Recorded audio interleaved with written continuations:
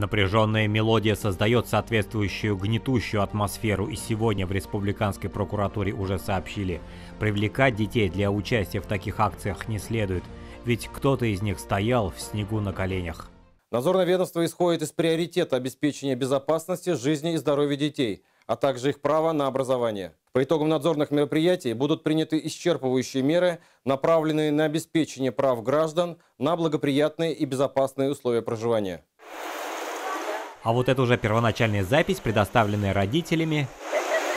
Детский шум, гам, кто-то даже улегся в снег. Каникулы ведь, говорит юный участник флешмоба. С мамой и братиком просто пошли, потому что, ну, дома скучно, охота гулять и дышать свежим воздухом. А школа ведь проблема стоит. Школа тебе нужна?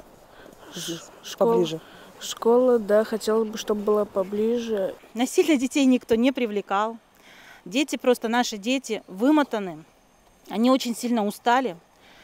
А ранние подъемы в 5 утра, в 5.30 утра подрывают здоровье детей. Мы собрали согласие, вот лично мое согласие о том, что я даю согласие на обработку Да, персональных это сильно данных. юридический ход. Вот в этих сугробах и происходил детский флешмоб.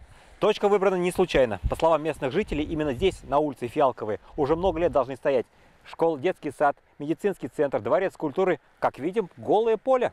Очень насущная тема для нас, для всех, потому что у меня есть тоже старшая дочка.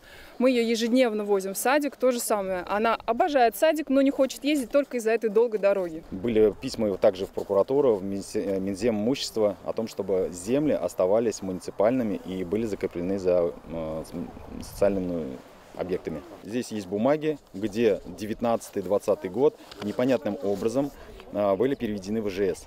Получается, участок можно застраивать индивидуальным жильем, считают местные обитатели.